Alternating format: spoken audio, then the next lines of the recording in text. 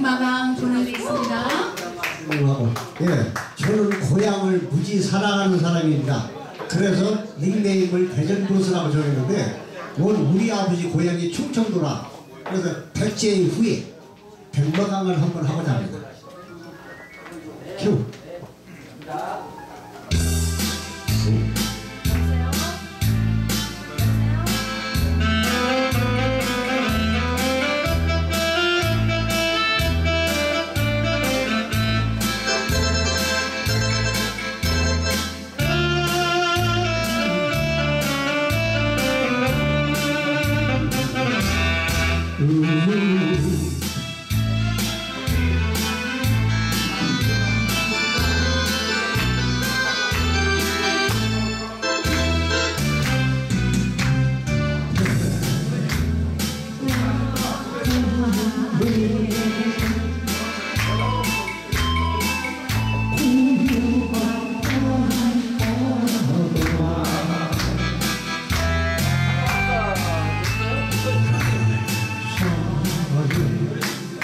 소리가